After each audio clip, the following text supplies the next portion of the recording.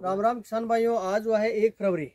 आज हम आए हैं चार हज़ार वर्ग मीटर के नेट हाउस में। अब मैं आपको बताऊँगा कि एक फरवरी इसको अभी हुआ है, आठ से दस दिन लगे हुए। क्या समस्या आई है, वो मैं आपको लाइव दिखाता हूँ आज। क्या करना है, इसका इलाज भी मैं बताऊँगा। अभी इसमें आई है डंपिंग हो, पाने की शिकायत स्टार्ट हो गई है।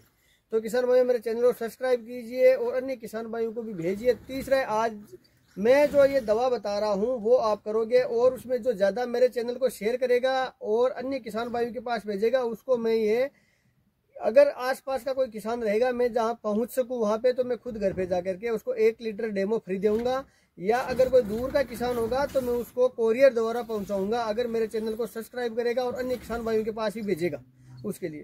तो अभी अभी जो समस्या आएगी वो आएगी डंपिंग ओप अब डंपिंग ओप के लिए पुराने फार्मर हैं, पुराने किसान भाई, वो तो सब जानते हैं कि डंपिंग ओप क्या होता है।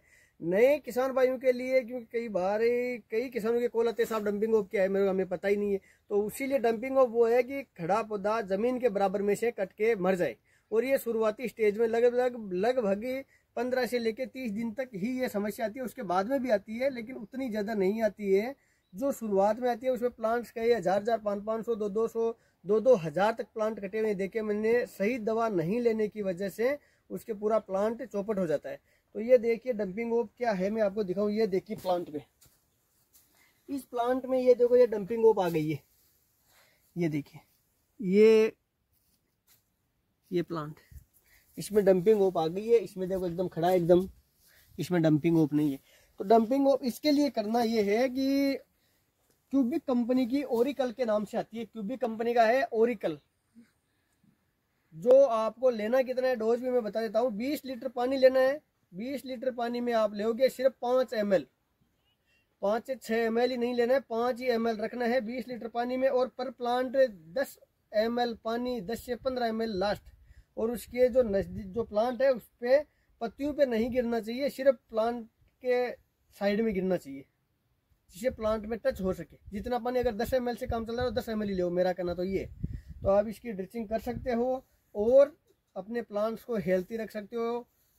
आने वाले नुकसान से आप बच सकते हो। तो किसान भाइयों, कैसा रहा वीडियो मेरे को कमेंट्स करके और भी कुछ पूछना हो डंपिंग ओप के बारे में तो मैं और आपको बताऊँगा और अच्छे से सजेशन करूँगा। और ये देखिए, मैं एक बार बोलूँगा भाई को कि पूरा नेट हाउस है, वो एक बार पूरा दिखाएँ। ये देखिए शानदार। पाँच से दस दिन हुआ अभी लगे हुए। तो इसके लिए डंपिंग ओप का सबसे शानदार और लेटेस्ट जो मैं बता रहा हूँ वो यही है और इसे तुरंत रुकेगा आपका। अगर पचास परसेंट से कम है अगर उसमें रोग तो वापस रिकवर भी हो जाएगा। ठीक है किसान भाइयों राम राम नमस्कार। आपका अपना बी एल चौधरी।